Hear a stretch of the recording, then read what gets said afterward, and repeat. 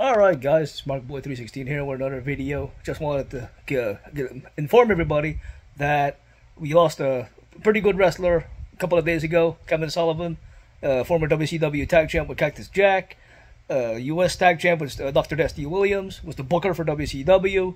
He will be sorely missed. One hell of a good wrestler uh, and uh, good booker. And I always liked Kevin Sullivan in WCW, although he was with a stupid faction, the Dungeon of Doom, but it was a hilarious faction but uh, great wrestler. Like I said, won a lot of titles in Florida too. Great stuff. And uh, if you if you know any memories or matches of uh, Kevin uh, Kevin Sullivan, let me know in the comment section below. It was he was a good wrestler. I always liked him. For uh, ECW, WCW, never wrestled in WWE for some reason. For, for some reason, I don't think he ever competed for Vince at all. So yeah, thank you guys for watching. I'll catch you guys in the next one.